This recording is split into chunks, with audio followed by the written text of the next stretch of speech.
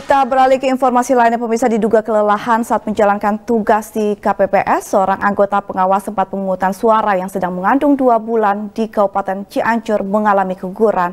Diduga petugas KPPS tersebut kelelahan setelah melakukan rekapitulasi pemilu.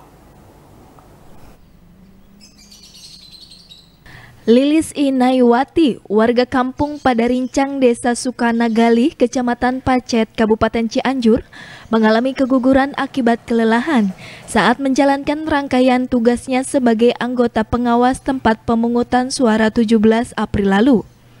Lilis yang bertugas di TPS 56 Desa Sukanagali ini mengalami keguguran di usia kandungannya yang berumur 2 bulan.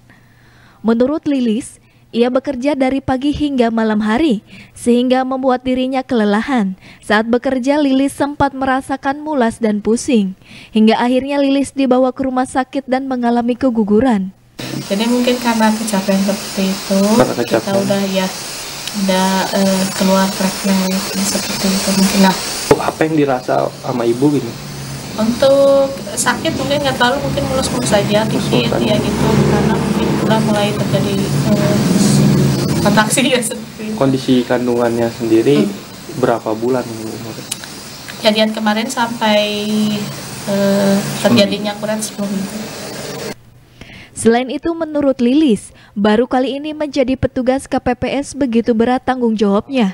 Karena pemilu kali ini sangat rumit tahapannya, berbeda dengan pemilu sebelumnya. Kini Lilis masih dalam proses pemulihan di rumahnya karena kondisinya masih lemas setelah alami keguguran anak kelimanya. Heri Setiawan, Bandung TV